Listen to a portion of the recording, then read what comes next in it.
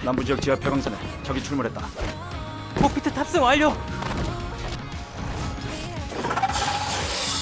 간다!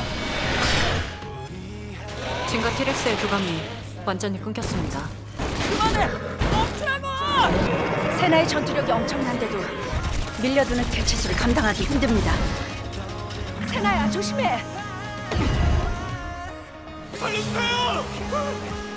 어, 아저씨! 암호업체!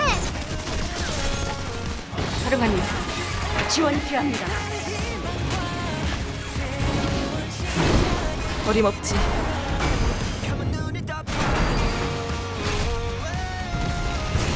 함정이야.